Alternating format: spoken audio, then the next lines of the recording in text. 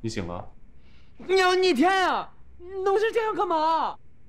你的爷爷是一个很出色的木匠，我利用他的工具和剩余的木料，对老宅的闲置区域做了一个改造。时间有些仓促，希望你能够喜欢。这些都是你一天晚上完成的？嗯。别忘了，我是一个机器人，我的体能和效率都很出众。你不是让我反省一下自己吗？为你改造老宅，创造舒适的生活环境，营造浪漫的温馨氛围，就是我反省的结果。